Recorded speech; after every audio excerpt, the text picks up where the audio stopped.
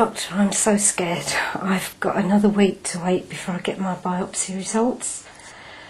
Tell me a bit more. Obviously, I haven't met you before, so tell me what's Um, been going on. Right, I went for a routine mammogram, uh, just sort of normal, same as before. Got called back, so I wasn't really, really worried. But when I actually saw the radiologist, she said she needed to do some more tests because I'd got this suspicious lump. Um, and they did this biopsy while I was there. And I've still got another week from today before I get the results. That must be really difficult and stressful for you. Um, I'm finding it quite difficult to to sort of cope with every day at the Mm. moment. I can understand that. Do you mind if I just ask you a bit more Oh, about what's yeah. been happening? Mm. Um, so you, you just said to me that you went for a routine mammogram. Yeah, I got called and went along. Had it had this mammogram. Is that the first one you've No, you've I've had uh, another one. But this will be my second. Okay, and was the last one normal? Yeah, it was fine, no problem. And had you noticed any problems with No, breast? this is why it's, it, it's really been a bit of a shock. Okay. And is there anyone in your family that's ever suffered with breast cancer? No, breast no, my mum didn't have it. Okay. So I can understand if you weren't expecting there to be a problem. Yes, Yeah, it's, a bit of it's a bit of a smack in the face, actually. Okay. I'm gobsmacked at the moment. And so you said that they did a biopsy. Yeah. And have they made some follow-up arrangements? Yeah, I'm you? going back next week. Okay. Um, so you've got the appointment. appointment all Yeah, sorted. yeah. Okay. But I, I, I just, all I can think of is that it's going to be positive and am I going to have to have my breast off? Are the lymph nodes involved? What's going to happen? You know, my children, well, my children are grown up, but it's still my children. I, I, I just, I, I can't sleep, I can't eat, I, I'm, I'm bursting into tears for the, the least little thing. I, I just I just don't know what to do. Thought I'd better come and see you. Okay. Well, just before we talk a bit more, what, what were you hoping that I could do for you today? Is there something in particular? Um, I don't really know. I mean, I've never been in this situation before. I don't know whether this is something that happens to a lot of people, and that when I go back, they're going to say no, it was fine. Um, are they going to tell me yes, I have got cancer? Will they then tell me what they will do on that day, or will I have to go back again and wait again? Um, will they put me in for surgery? Will it be radiotherapy, chemotherapy? Will my hair fall out? I, ju- I just, there's so much I can going see that. There's a lot I going in just- your- I just don't in know what to think anymore. Listen, let, let's take one thing at a time. I think there's lots of unanswered things Yeah. going on in your mind, and I think it's probably not worth you thinking about what could be Right. until we get some straight answers. I don't know if you you know what the what this the screen we call it screening program, the same as when we do smear tests and other sort of things.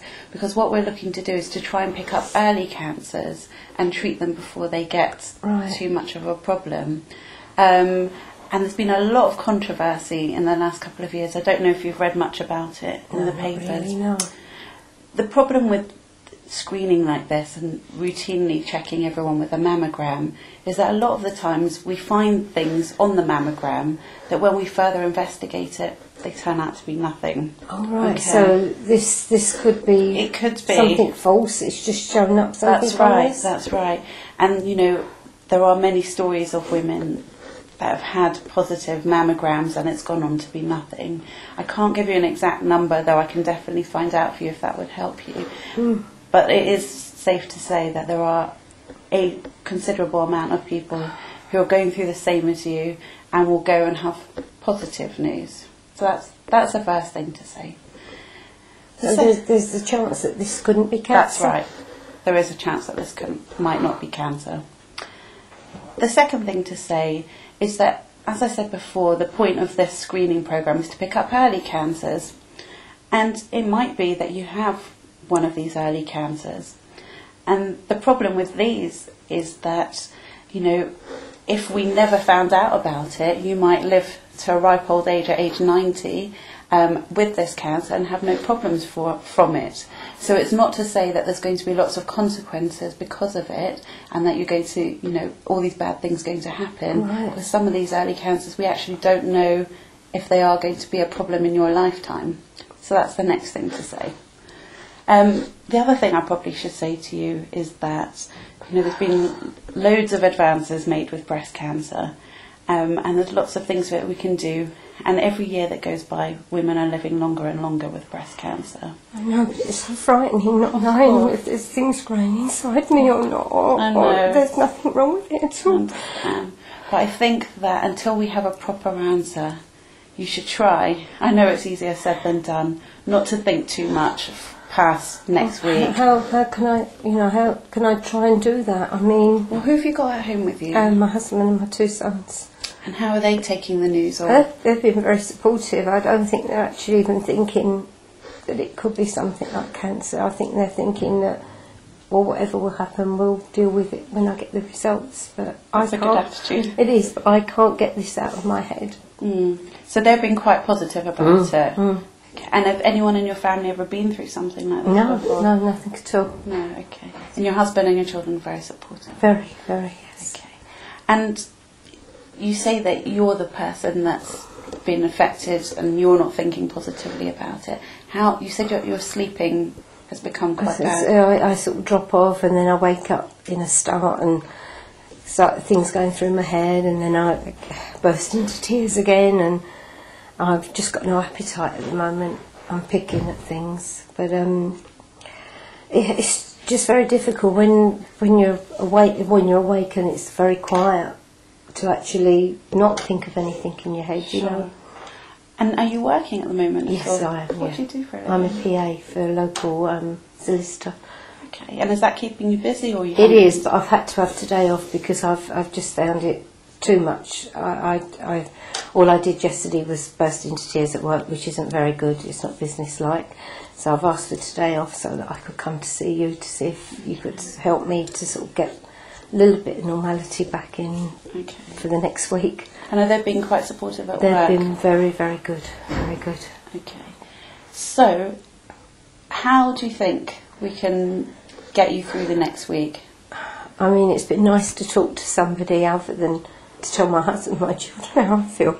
I don't want to upset them anymore. I understand that. Um, but just talking to you has helped. Um. I know you've said to me that even though this thing's there, it may not be anything to worry about. It could be a positive, A false positive. false, false positive. Um, so that was that. You know, that's a little bit reassuring. But it would be nice to know roughly what percentage Sure. of mammograms are actually a false positive. Well, we can definitely find that out for you. that would be nice. Thank you. Um, so it's good that you said that talking to someone outside the family has, has helped Mm. you. Is there anyone else outside the family that you feel you can talk to? I could probably speak to one of my best friends. Um, she's she'd be very, very good. She'd probably reassure me that you know you're running away with what you think it could be. Wait and see. Um, it's just that I, I don't want to, uh, you know, put too much burden on my children and my husband because I I, know they're probably going through the same thing. That's it. That's it. Well, there's there's definitely support organisations that could support you, um, even over the phone at the moment. Really? Um, there are cancer organisations that would definitely be happy to speak to Oh, you. that might be nice. And I can, while I find out the figures for you, I could probably get you some phone numbers, and they'd probably be even more reassuring than I can, and give you um, proper statistics and everything. No, that, that would be That'd good be actually, helpful. because then if I've got an afternoon where I feel I'm not coping very well, I could perhaps ring somebody. That's right. And have they given the, you the number of the breast care nurse at all at the hospital? No, they haven't. They haven't said yet. When I go back next week, um, I think it's next Wednesday. Um, uh, I think it's about ten o'clock. They will go through everything with me and Good. and go through treatments and everything. Or as you say, maybe a false positive that all this worry was for nothing. And is someone going to be coming with you? For Yeah, your- my husband's going with me. Great. Yes. Okay. Now, apart from talking to someone, have you had any thoughts about what you could do to distract yourself or take your mind off things in the next week? No, I haven't actually. I mean, I've, my full focus has been this thing Mm. in here and what's it going to do to me or what. Well, what do you normally like doing? Um, I do do yoga. I do read books. That sounds like a good plan to me. Mm, perhaps I should take a book to bed with me and, That's right. and maybe read it if I wake up. I do fall asleep reading a book, so that might be And the yoga sounds like a good Yeah, plan perhaps as well. I could uh, actually do an extra class a week or something. Yeah, I think just Until keep, till next week anyway. I'll go Yeah. to two instead of or three instead of two. I mean, I think to keep yourself busy and try and do things like relaxing and taking your mind off things will help you stay focused, stay positive, Oh. um, help with your sleeping and your eating. And as you said, you're trying to keep it together for everyone else at the moment. Um, maybe doing things as a family, going out for dinner, Yeah. doing things that you might enjoy. Yeah, I mean, I've only got one weekend in between, so That's good. Perhaps we'll try and do something at the weekend. Okay. Um, so maybe what we could do is make an appointment for you to come and see me following your hospital appointment. Yeah. And then, regardless of what the outcome, we can talk through it a bit more. Um, and any questions that you might have, even if I can't answer them, I'll try and find out the answers for you. That's lovely. Well, thank you very much. Is there anything you